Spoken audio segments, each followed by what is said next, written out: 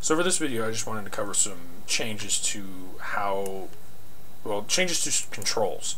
Um, I've removed the interconnected nature of skiing and lateral jetting and just have completely separated them into two different keys. You now have a ski key, and it truly is a ski key. There's nothing else going on. And you have a lateral jets key, which is the same story. It's just a lateral jets key. The lateral jets have been bound to both uh, thumb buttons for the mice, and I did both just because I figure everybody has a mouse. Most everyone will have a mouse with thumb buttons, and I don't know which they prefer. So you can use either button to do lateral jets. And your right mouse now just it always does standard jets, which is up and lateral jets.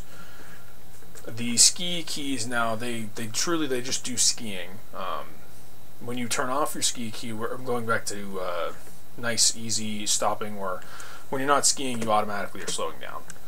Makes things a lot um, simpler.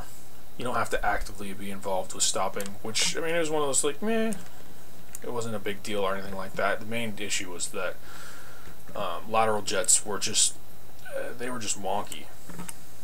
And as much as I don't like adding extra keys, adding extra keys is better than having wonky behavior.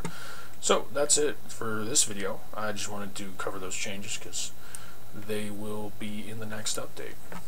And of course, I'll be tossing up another uh, Chasing Infinity video here some, at some point because the movement system is, at this point, um, good to go, in my opinion. I just need to finish up the netcode changes, and life will be golden. Um, anyhow, if you have any questions or comments, of course, post them on the YouTube comments page or the game forums. That's it for this video. Thanks for watching.